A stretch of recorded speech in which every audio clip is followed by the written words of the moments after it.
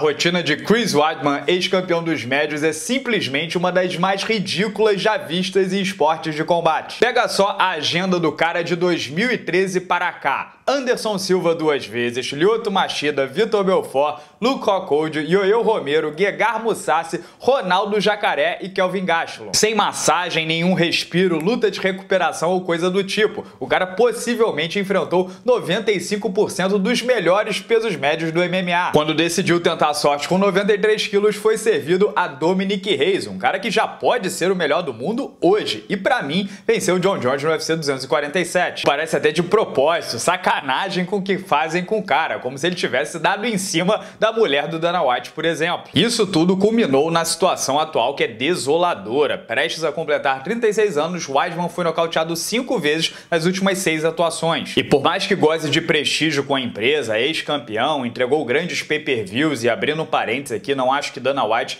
quer vê-lo como peso médio do Bellator, até uma figura popular como essa não será escudado para sempre com resultados tão ruins ruins. E sim, tudo depende de contra quem você luta. Tem gente com cartel exuberante que nunca enfrentou ninguém. Mas a real é que no caso do Weidman não se tratam apenas de manchas vermelhas no cartel. Após tantos danos e traumas, como a joelhada voadora do capiroto Yoyo Romero, o direto do Dominic Reis, o cruzado do Ronaldo Jacaré, o Weidman não é mais aquele menino de 28 anos que destronou Anderson Silva. Absolutamente ninguém sai impune desse tipo de castigo. E entendendo essa nova realidade, a empresa podia promover finalmente a famigerada luta da recuperação. Como a minha sugestão de trilogia com o Anderson Silva no UFC 250 em São Paulo não agradou, mete o cara aí abrindo qualquer pay-per-view, já que ele é notório e ganha uma bolsa alta também. Três roundzinhos contra um Brad Tavares, de repente o russo Omar Akhmedov, que está em excelente frase, mas já foi nocauteado até pelo Serginho Moraes, por exemplo. Essa era exatamente a hora da empresa dar uma moral pro cara, ainda mais que ele foi retirado do ranking dos médios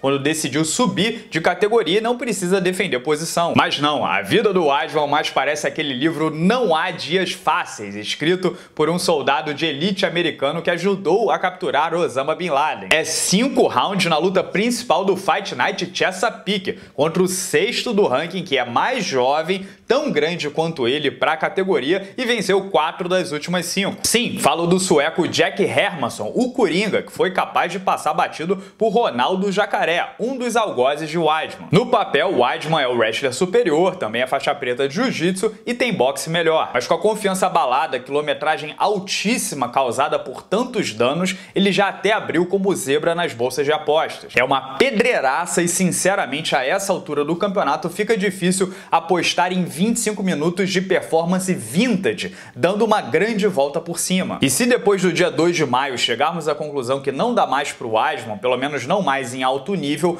tem que botar parte da culpa pela depreciação do ativo na conta do UFC também. Mas claro, esse é apenas o meu ponto de vista, os meus dois centavos. O que vocês acharam sobre esse novo desafio do All American? Comentem livremente aqui embaixo no vídeo, se inscrevam no canal para não perder nenhuma resenha. Hoje é quinta-feira de rodada dupla no sexto round. Também deixei o meu palpite para Davidson Figueiredo versus Joseph Benavides, que lutam pelo cinturão peso mosca nesse sábado em Norfolk. Você confere clicando no vídeo aqui aqui do lado. Fechado? Muito obrigado pela audiência de sempre, um grande abraço e até a próxima.